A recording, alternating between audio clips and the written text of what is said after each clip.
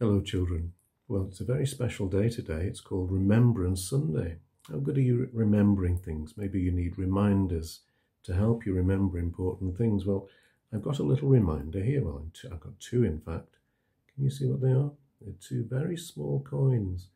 And those two small coins remind me of a thing that happened in the Bible, something that Jesus noticed. He, he noticed a poor widow, and she put two tiny coins, they called mites, they were, two tiny coins into the collection box in the temple, like our church in a way.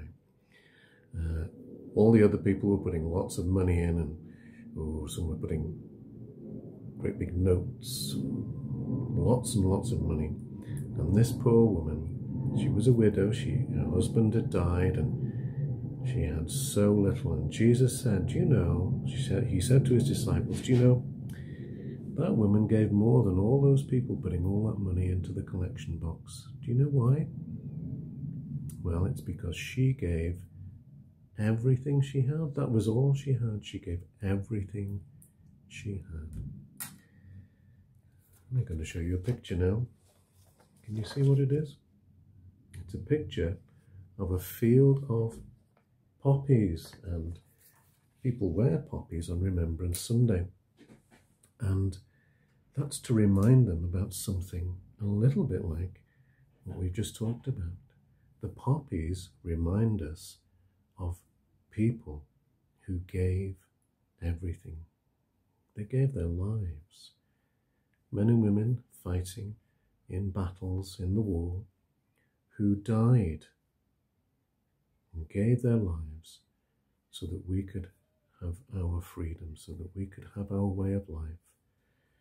And that was the price that many, many had to pay. And so on Remembrance Sunday, we specially remember those soldiers and sailors and airmen uh, and air women as well who gave their lives in the service of their country so that we could have our freedom.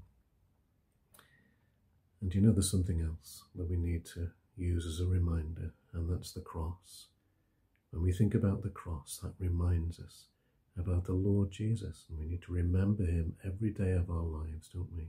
Not just on a special occasion, because he gave his all. He gave everything he had. He gave his life. He shed his blood. And of course, his blood is the colour of poppies, isn't it? And the poppies remind us of the blood that was shed by all those people in the armed forces, but also the blood of Christ, which was shed on the cross so that we could be saved. Remember that widow who gave everything?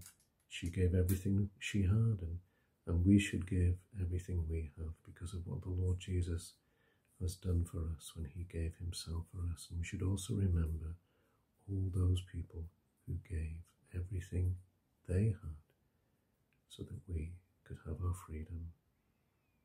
Let's just say a prayer together. Let's pray. Heavenly Father, we want to thank you on this special Remembrance Sunday for all those people, many thousands of people who died in the wars and in conflicts since the, since the world wars in order to help us have our freedom and keep living the way that we live.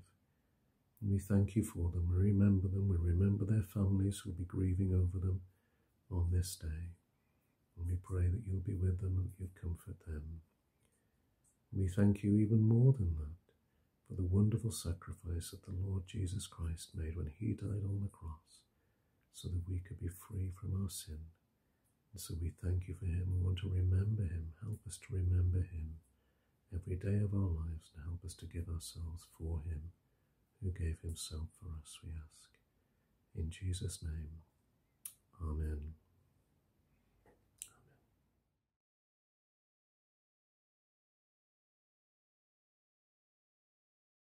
When I stop and look at the starry sky, or hear all the birds as they call up high, when I smell sea salt in the sand, I'm enjoying the works of your hand. All my senses tell me the Maker must be great.